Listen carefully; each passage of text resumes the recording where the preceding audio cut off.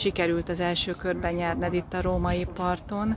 Neked idén akkor ezek szerint ez már a harmadik felnőtt ITF győzelmed. Hogy érkeztél ide a tornára? Milyen elszántsággal? Gondolom mindenképpen szerettél volna nyerni, de azért ez nem egy olyan könnyű dolog. Ö, igen, valóban. Ö, egyébként Mariborba versenyeztem előző héten Salakon. Ö, ugye hát ez kemény pálya, meg gyors kemény pálya is, de volt önbizalmam, mert úgy voltam vele, edzettem egy 3-4 napot rajta. Ugye az utolsó napokban egyre jobban éreztem, ugye a szervámba bíztam, az egy gyors pályán azért nagyon jó.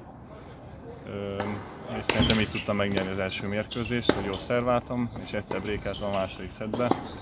Úgyhogy ö, van önbizalmam ezen a pályán, úgy érzem.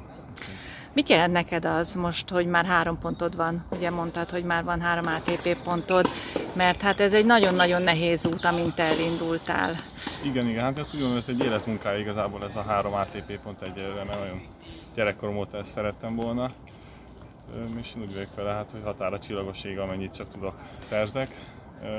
Szerintem bármire képes vagyok, úgyhogy Most hogy áll körülötted a csapat? Ugye Balatonboglári vagy, ugye te onnan indultál, Igen, ami néha egy kicsit talán hátrány is volt gyermekkorodban. talán igen, de, De most is. már azért beküzdötted ide Igen. magad.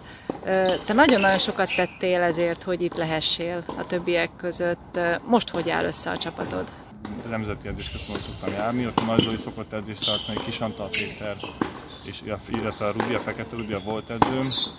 Ott szoktam edzeni, illetve Bogdáron sparingolni szoktam, vagy, vagy édesapámmal kosárból gyakorlunk otthon Balatonon.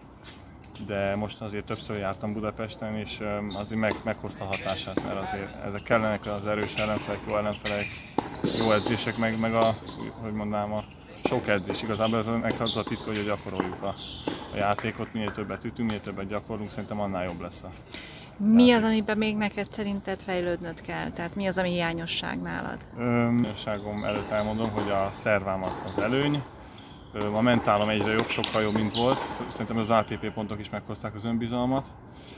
Viszont az agresszivitásomon kéne javítani, illetve a fogadójátékomon kéne csiszolni, hogy az még jobb legyen esetleg, hogy a szervámat tudom hozni, akkor a return játékom az jobb lenne, akkor egy, egyszer-egyszer breakelni, egy fix break azért az jó lenne. Neked volt ez a cukorbetegséged.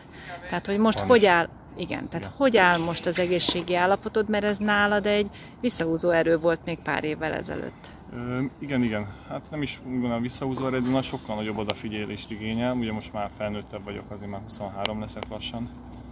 Ö, azért jobban figyelek, meg ö, úgy tapasztalat rengeteg van, jó is, rossz is. Ö, így, hát ezáltal most nem, nem mondom, hogy előnyemre fordítom, de, de azért most már nincsenek olyan nagy kiugrások meccs közben, mert sok olyan mérkőzésem volt egyébként, ami sajnos ezen el, elment, vagy ö, nem tudtam megnyerni.